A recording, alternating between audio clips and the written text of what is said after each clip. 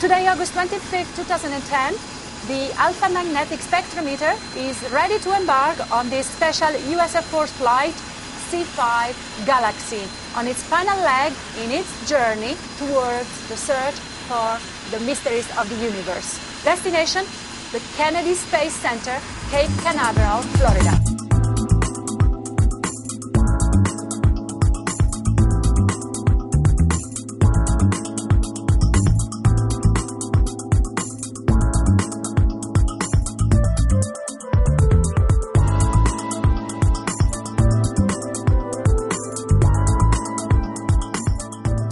With a weight of 7.5 tons and its 5 by 4 by 3 meters size, the Alpha Magnetic Spectrometer is one of the most complex scientific instruments ever built for space.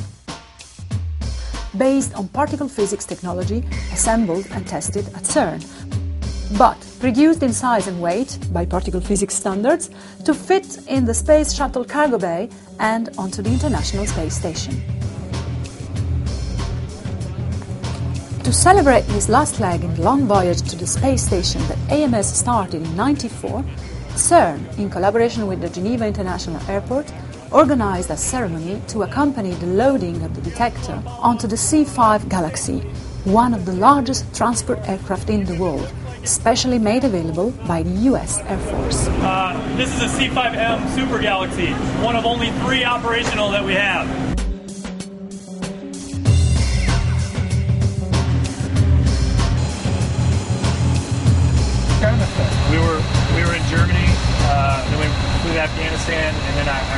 How, long did you stay in Afghanistan? Good morning, ladies and gentlemen. Welcome to the press conference announcing uh, the departure of the Alpha Magnetic Spectrometer from Geneva International Airport to the Kennedy Space Center in Florida. Alpha Magnetic Spectrometer is a particle physics detector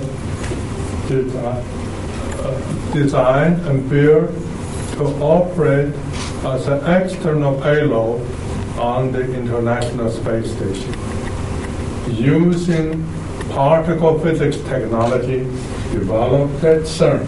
The reason why this experiment has been designed to be so sensitive to identifying cosmic rays, one part in a billion or better, is exactly to look for something very rare, which can be in the flux of cosmic rays, which cannot be seen from Earth. So antimatter is a good example because charged particle cannot would not make the atom to the atmosphere without being dis, dis, disturbed or destroyed. The sensitivity to some effect due to dark matter. The same dark matter people look underground studying the detail of the distribution of cosmic rays. But there are other forms of strange matter which may also be detectable in space the bottom line is uh, once you look very carefully with a very powerful detector for a long time to something which has never been observed with uh, enough uh, attention, you may find surprises. And this is basically why you're doing that. So we are motivated by these models, but in reality we look for something new that would be a big surprise. Uh, I'm from the United States Air Force. Uh, my command, the Air Mobility Command, the, the job is to, to move things, anything, anywhere, uh, anytime. We have a very capable and a very uh, exciting aircraft sitting out on the ramp right now. Uh, we've got a very dedicated, very enthusiastic, gung ho crew. They're ready to take this. So uh, we are very proud to be part of uh, the AMS's last terrestrial voyage. So tomorrow, it's from Geneva to Kennedy Space Center, and next stop is space.